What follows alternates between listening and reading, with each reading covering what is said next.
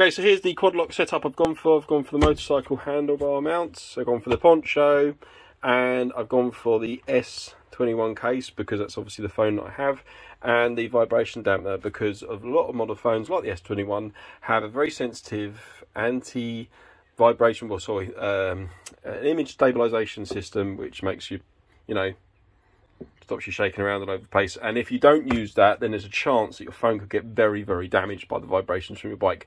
And as I have the MT-01, I, it was more important that I went for this because the bike is very, very vibey. Anyway, let's go on, uh, get them out of the boxes and have a look what's in the boxes.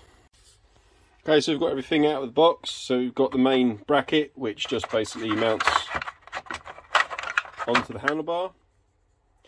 You've got some different size spacers and you've got the part that actually mounts onto your phone. Then we have the poncho which just slips over the top of the phone. And then we have the case itself, like so.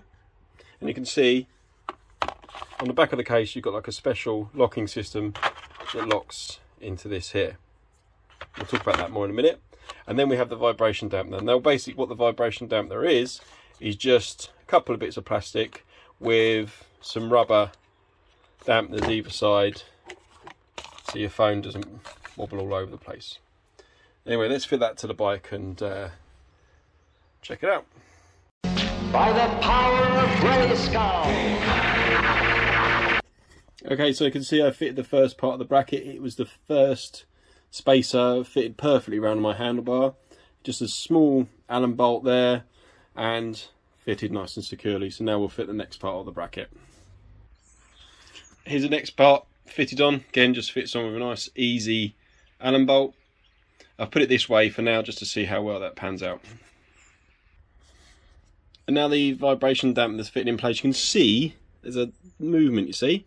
And that basically means it takes out all the vibrations directly from the bike.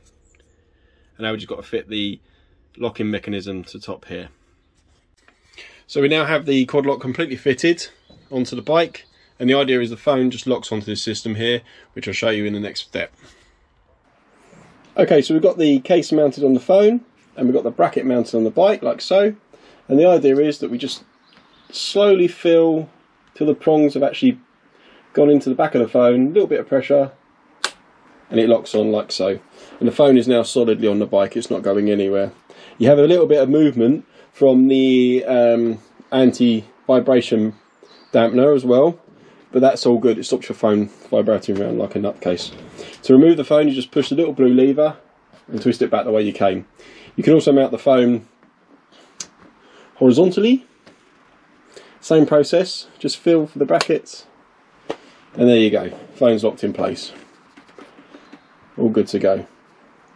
So really straightforward system. Again, to pull off, just do the complete opposite. Push the blue bit away from you, to release the phone. There we go.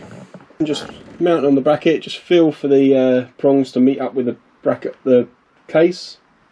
Phone locks in place, and there you have your phone ready to go. Like so. And it's easy to peasy to use on a bike. Now I'm only going to use it really for when I need to go away and I need access to the um, GPS and stuff like that. So I'm not going to be using it all the time. But otherwise, really good uh, solution to uh, having your phone or having some sort of GPS in front of you without buying all of the kit. If you want to get the quad lock, just check out my link below. Uh, there's a link there to get 10% off uh, your quad lock kit as well. Um, thanks for watching. Please subscribe. Uh, please give us a like and check out my website. Cheers.